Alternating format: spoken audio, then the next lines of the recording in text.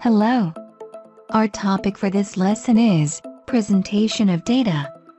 You need just 5 minutes to complete this lesson. Let us see our lesson objectives. By the end of this lesson, you should be able to 1. Know what data collection is all about. 2. Understand the different types of data. 3. Understand the various ways of data presentation. Now, let us begin. Data can simply be defined as pieces of information obtained through counting, figures, observations, or measurements, and are arranged in a meaningful way. Remember, data can be collected for various reasons, which may include 1. For planning purposes 2. For analysis purposes 3. For prediction purposes, etc.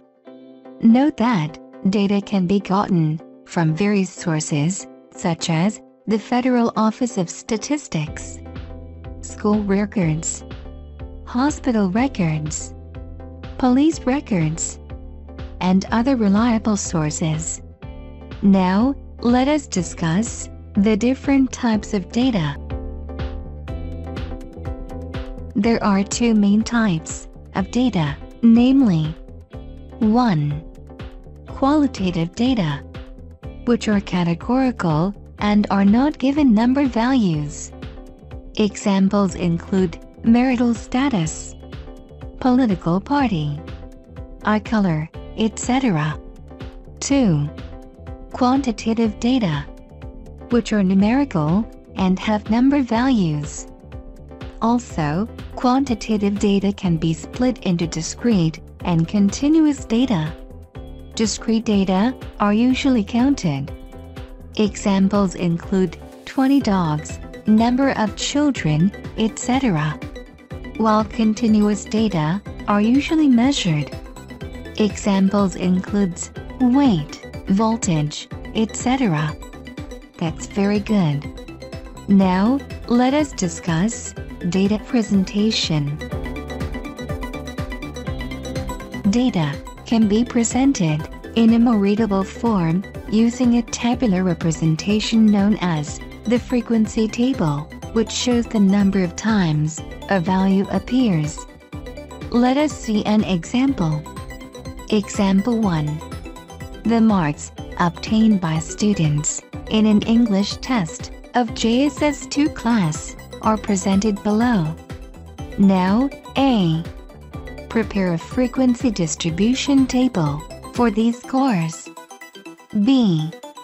How many students took the test? C. How many students obtained a pass mark if the pass mark is 5? Solution First, we set up a frequency distribution table, as shown below.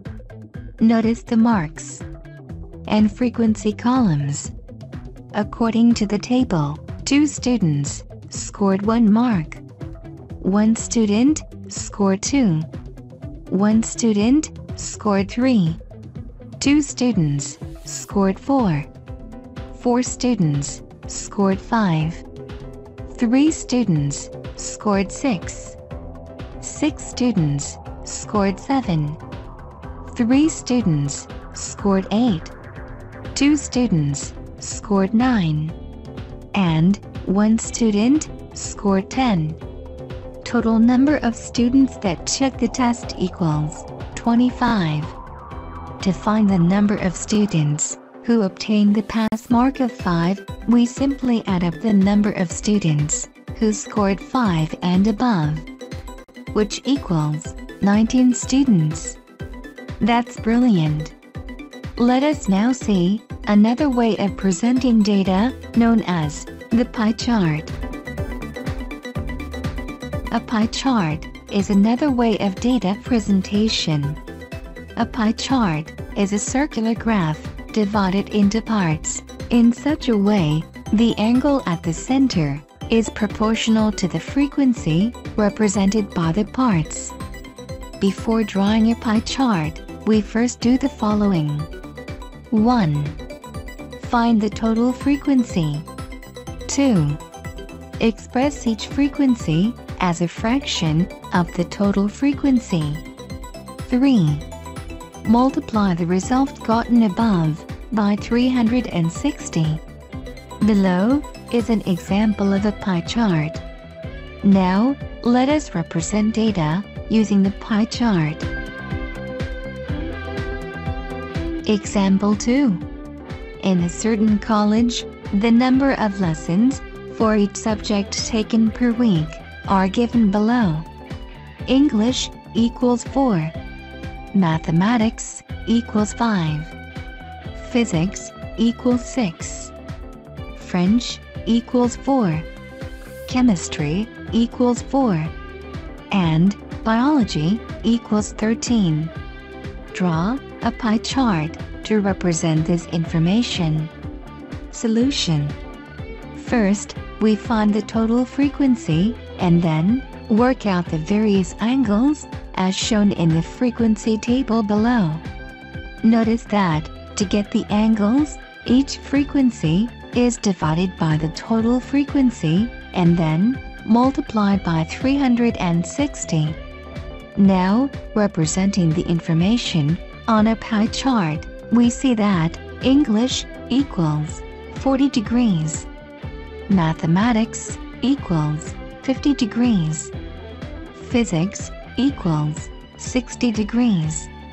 French equals 40 degrees. Chemistry equals 40 degrees. And biology equals 130 degrees. That's brilliant. Now, pause this video Copy these assignments in your notebook and answer them accordingly.